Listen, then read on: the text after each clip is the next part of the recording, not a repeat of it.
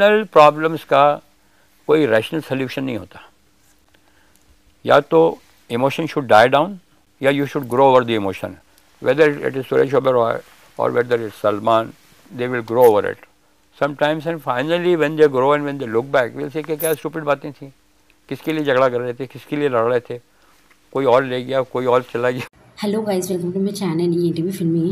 Amid the separation of Abhishek and Aishwarya, Salman Khan father Salim Khan expressed that Salman Khan and Vivek Oberoi fighting was going on for a long time for the sake of Aishwarya. He expressed that both Salman Khan and Vivek Oberoi were fool enough for the sake of their love Aishwarya Rai. They have faced a lot of problematic in their life, but finally Aishwarya have married to an third person, Abhishek Bachchan.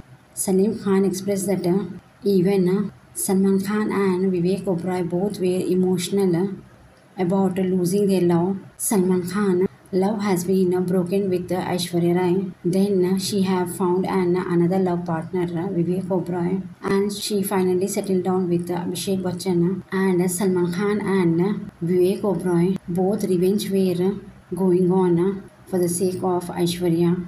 Even in an interview, Vivek Oberoi expressed that in an 29th March 2023, he have received 41 call from him. Even he have given a death threat to him. Even Salman Khan used abusing language to Vivek Oberoi. Then Salim Khan expressed that their revenge was useless because she has been finally married to an Abhishek Bachchan. So Aishwarya and Abhishek Bachchan, after 16 years of their married life, they have been finally heading for an divorce. But uh, not even uh, Abhishek Bachchan nor uh, Aishwarya has been officially announced their separation. But Aishwarya and Abhishek has been not seen together more than one year. It sparked a rumor of separation of Abhishek and Aishwarya. Your suggestion. Watch the complete video. Like, share and subscribe my channel.